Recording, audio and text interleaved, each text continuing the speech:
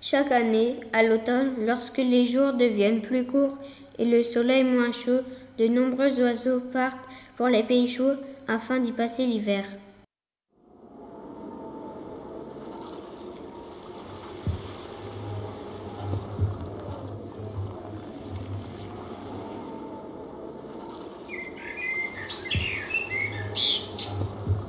Attendez-moi, je suis prêt à migrer avec vous.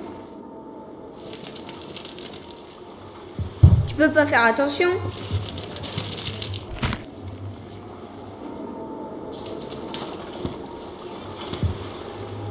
Ton aile est cassée. Tu ne pourras pas partir avec nous demain. Tu vas devoir passer l'hiver ici. Il faut te trouver un abri dans la forêt et te reposer. Mais ne t'inquiète pas, au printemps nous te retrouverons.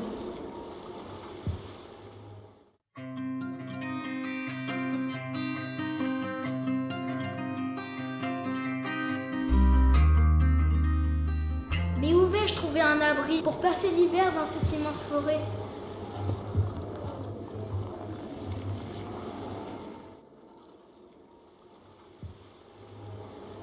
Excusez-moi, monsieur le chêne, puis-je construire un nid sur vos grandes branches? Je ne peux pas m'envoler vers les régions chaudes, car je me suis cassé une aile. Hum, qu'est-ce que ça Non alors, je suis allergique aux oiseaux comme toi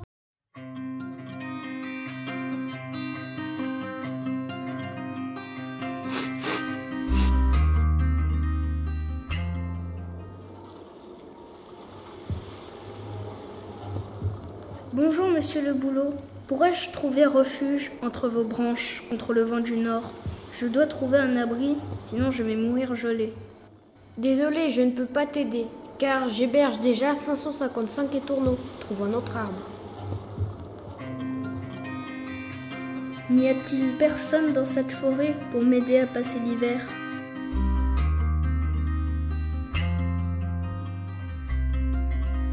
Mais où vas-tu, petit maire Il y a bien longtemps que tu devrais être dans les pays chauds. Tu vas geler si tu ne pars pas très vite. Je sais bien, mais je me suis cassé une aile et je ne peux plus voler.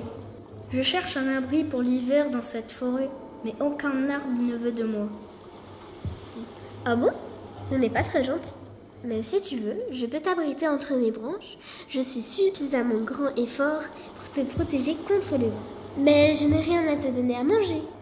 Regarde, mon ami le jeune ouvrier. Il pourra te nourrir. Pour te remercier, je vais te chanter mon meilleur air.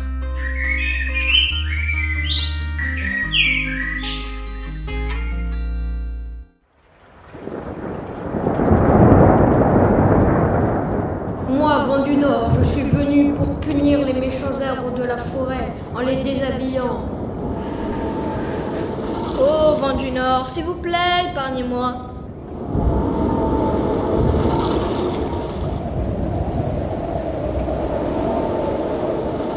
Oh non, pitié, ne me fais pas de mal.